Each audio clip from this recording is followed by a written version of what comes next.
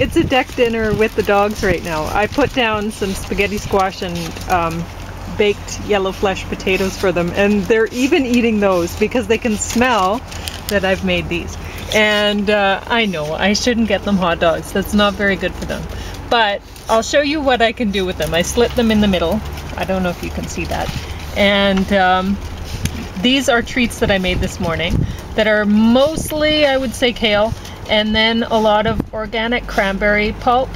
And um, I also put, I'd saved the blueberries and Saskatoons that weren't really good for me to eat. You know, they were too dried out or not purple enough or whatever. And I'd frozen those and I put those in there. And there's some carrot pulp and a little bit of cauliflower, um, but lots of peanut butter. So they're very excited about the smell of this and this. So I'll just set that down. We'll talk for a minute while I give them these treats. Pants are falling down a bit. Anyway, I'm going to talk about a couple videos in a minute, but they're you can't see Elvis over there, but he's doing the hands in the air beggy thing that he does. It's so cute. Yeah, I know. Just a minute. So I'm giving them probiotic bacteria, which will um, it will eat the insoluble fiber that's in here and I'm giving them some omega-3 and for a long time I was just buying omega-3 from the pet store for them. And I was thinking oh is this stuff too strong or I don't know.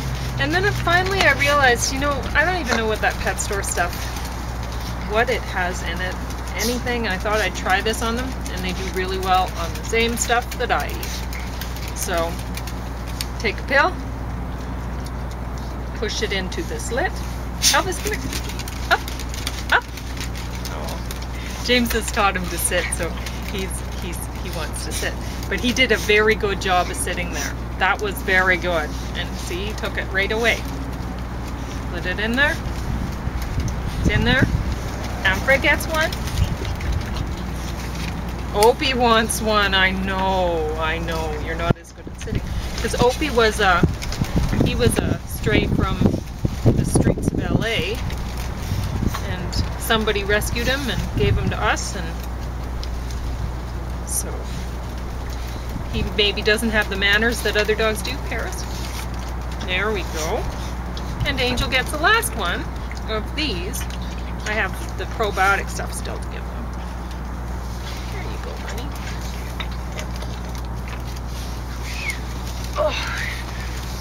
Opie also doesn't take the pill very readily. But everyone's going to get a couple pieces at least, so he's not going to get more than even though he pulls that trick.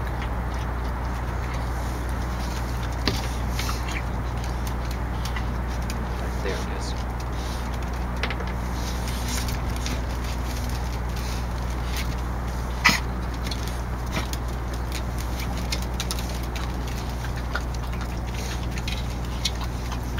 Angel.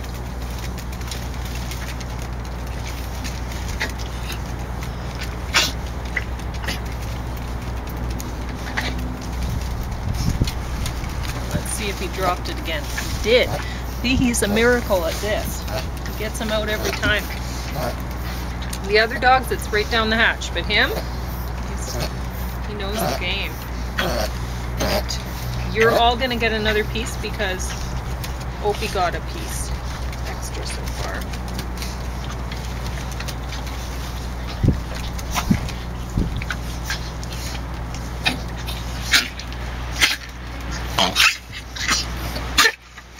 Take time, honey. It's okay.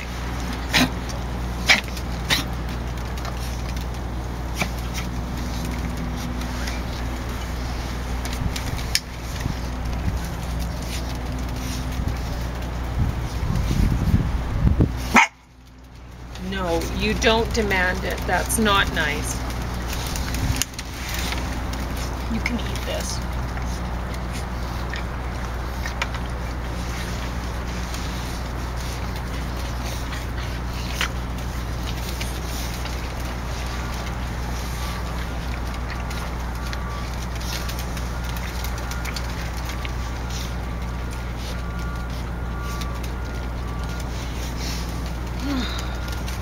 Okay, well anyway, I'm just gonna give these these things to them at the, on the floor.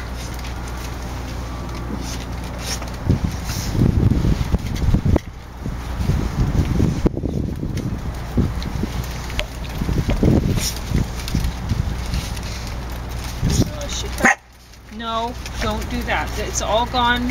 All the stuff that you're barking for is no longer here. So you just behave. Okay. Anyway, now we get on to that. Eating you alive. Um, put down that this was a good dog. It's okay. Um, about whole food plant based diet. Um, the music was a bit too inspirational for me, but whatever gets people to eat more kale. There was just a point where they were talking about people eating too much fat and that it doesn't matter which type of fat we're eating too much of. Then near the end of the doc, people were showing recipes, and I think the first one was an instant mac and cheese using ground cashews and nutritional yeast, which, if you haven't tried it, down. But um, they didn't point out that that is a high fat recipe, very high fat. And um, the thing about cashews is also nutrient dense, right? So, anyway, I wouldn't suggest anyone eat vegan mac and cheese made like that on a regular basis, too high fat. But between all of the kale and beet juices with ginger and turmeric, okay. Um, they also failed to mention probiotic bacteria entirely, which I even give it to the dogs. Um, I give it to them in pill form because I don't think they'd want kale um, or cabbage, sauerkraut, or they certainly wouldn't want kimchi. So I give them pills. Uh, we all need to ferment our own foods, like sauerkraut and kimchi, so that we're certain we're getting enough probiotic bacteria. Kombucha isn't the best. Now I do have the camera sitting on a bottle of kombucha right now with um, uh, ginger mint from my garden and ginger in it to flavor it. And my ginger mint in my garden is still about half of it still alive, so I'm still able to put it in my kombucha. Fresh. Um, because oh, I wanted to mention about the kombucha. Yeah, in order for it to taste good, I drink mine really tart. It's pretty vinegary. Um, but most people would want it to be kind of sweet. And if it's sweet, then has the yeast fermented all the sugar? right? Um, but I don't know. It's still it's certainly better than drinking pop. Um,